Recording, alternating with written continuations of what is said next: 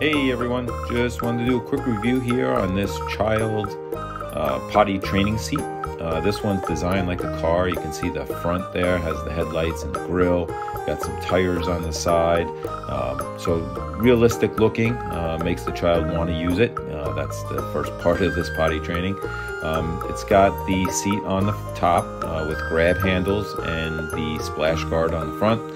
This can be taken off and used on an adult potty once the child graduates from this one. Uh, this is to catch everything. Uh, can be easily cleaned. Uh, it comes, you know, on and out easily. Um, this clips right back in, and uh, once it clips in, um, it's got the safety features again for uh, child safety.